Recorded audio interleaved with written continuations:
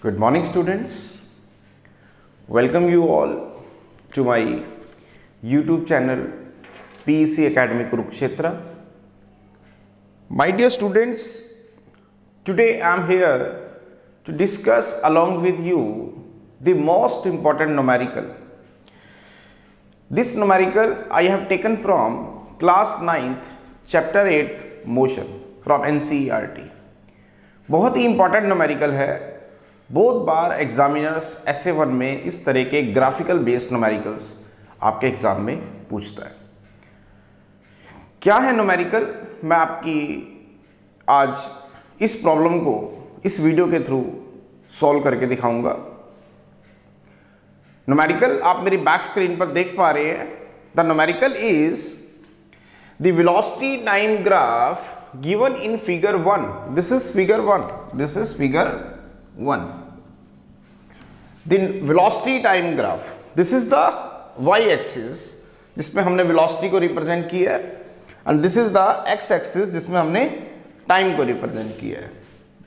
क्या कह रहे हैं numerical the velocity time graph given in figure one represents the motion of a cyclist find it acceleration its velocity and the distance covered by the cyclist in 15 second बहुत ही important numerical है और कैसे करेंगे इस numerical को? आज हम देखेंगे।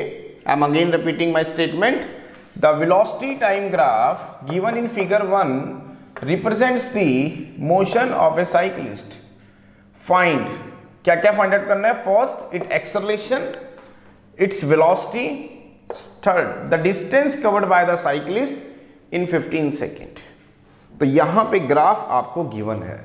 This is the x axis and this is the y axis x axis पे हमने लिया है टाइम वाई एक्सिस पे हमने लिया है वेलोसिटी अब ये जो 5, 10, 15, 20, 25 these are the time in seconds 10, 20 इसी तरह so on 30 this is meter per second this is the velocity x axis represent the time axis y axis represent the velocity axis. तो हमें फाइंड आउट करना है उसकी acceleration तो कैसे निकालेंगे? सॉल्यूशन देखें।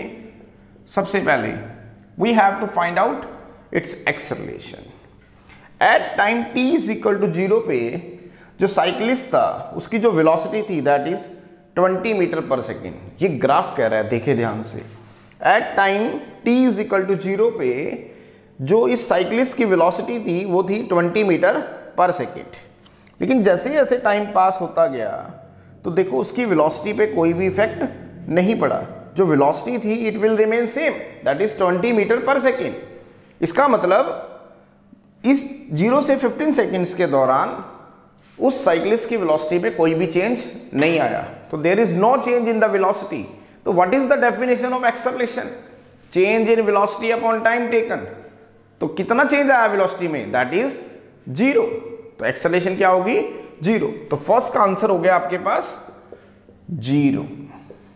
I am again repeating at time t is equal to zero पे उसकी वेलोसिटी थी 20 मीटर पर सेकेंड लेकिन जैसे जैसे टाइम पास होता गया 5 सेकेंड 10 सेकेंड 15 सेकेंड तो ये ग्राफ हमें बता रहा है कि उस साइकिलिस्ट की वेलोसिटी 20 मीटर पर सेकेंड ही थी। 5 पे भी कितनी थी? 20 मीटर पर सेकंड 10 पे भी कितनी थी? 20 मीटर पर सेकंड। 15 पे भी कितनी थी? 20 मीटर पर सेकंड। इसका मतलब there is no change in the velocity of the cyclist during this 15 second तो इसका मतलब वेलोसिटी में कोई भी चेंज नहीं आया है। If there is no change in the velocity it means acceleration is zero क्यों? क्योंकि एक्सलेशन की जो डेफिनेशन होती है, वो होता है change in velocity upon time taken तो एक्सलेशन क्या है? ज़ीरो तो फ़र्स्ट का आंसर आ गया ज़ीरो सेकंड वो कह रहे हैं इट्स वेलोसिटी तो अब ध्यान से देखो, ज़ीरो पे उसकी वेलोसिटी कितनी थी? 20 मीटर पर सेकंड. फाइव पे कितनी थी? 20 मीटर पर सेकंड. टेन पे कितनी थी? 15 20 मीटर पर सेकंड. 15 पे कितनी थी? 20 मीटर पर सेकंड. तो उसकी वेलोसिटी में तो कोई चेंज आया ही नहीं है. The answer is 20 metre per second. Third question answer the distance covered by the cyclist in 15 second t is equal to zero पे उसकी वेलोसिटी थी 20 मीटर पर सेकेंड और t इज़ इक्वल टू 15 पे वो इस b पॉइंट पे पहुँच गया और उसने ये एरिया कवर किया। कितना एरिया कवर किया उसने? ये एरिया कवर किया इस 15 सेकंड के अंदर। तो आपको क्या निकालना है? कितना डिस्टेंस ट्रेवल किया साइकिलिस्ट ने 15 सेकंड में? तो डिस्टेंस निकालने का फॉर्मूला आप सबको पता है डिस्टेंस होता है आपके पास वेलोसिटी इनटू टाइम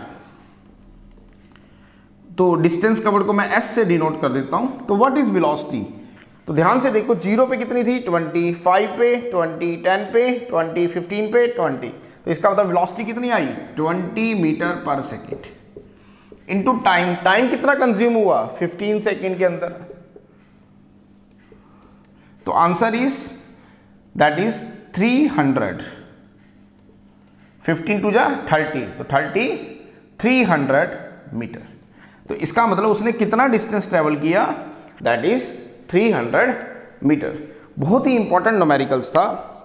मैं दोबारा रिपीट कर देता हूँ। डिस्टेंस कवर्ड कैसे निकाला जाएगा? डिस्टेंस का फॉर्मूला होता है वेलोसिटी इनटू टाइम कितनी वेलोसिटी थी उसके पास? ज़ीरो पे कितनी थी? ट्वेंटी फाइव पे ट्वेंटी टेन पे ट्वेंटी फिफ्टीन पे ट्वेंटी कितना टाइम कंज्यूम किया? दैट इज़ 15 सेकेंड तो 15 सेकेंड में जो उसका डिस्टेंस कवर्ड आया दैट इज़ 300 मीटर तो दिस इज़ द नोमेरिकल बहुत ही इंपॉर्टेंट नोमेरिकल है. टू टू मार्क्स के इस तरह के नोमेरिकल्स एग्जामिनर डेफिनेटली आपके एस से वन एग्ज़ाम में फाइनल एग्ज़ाम में पूछता है. तो कैसे करना था इस नोमेरिकल्स को ग्राफिकल नोमेरिकल्स को? और इसका वीडियो आज मैंने जनरेट किया और जल्दी ही इसका वीडियो आप तक शेयर कर दिया जाएगा, क्योंकि बहुत बार बच्चों की रिक्वेस्ट आती है कि सर कुछ ग्राफिकल बेस्ड नोमेरिकल्स अपलोड कीजिए। तो ये एक ग्राफिकल बेस्ड नोमेरिकल्स था जो कि मोशन चैप्टर के ऊपर बेस्ड था। बहुत ही इंपॉर्टेंट है। इसका वीडियो जल्दी ही आप तक शेयर कर दिया जाएगा। So at last my dear students again I am saying if you like my videos, like my work, like my channel, then please, please don't be forget to subscribe my channel. My channel is PEC Academy Kurukshetra तो अंत में मेरे प्यारे विद्यार्थियों अगर आपको मेरा काम पसंद आ रहा हो, मेरा चैनल, मेरी मेहनत, अगर आपकी प्रॉब्लम को सोल्व करने में आपकी हेल्प कर रही हो तो प्लीज़ प्लीज़ मेरे चैनल को सब्सक्राइब ज़रूर करें। My channel is P E C academy Kurukshetra. जय श्री कृष्णा, जय श्री राधे।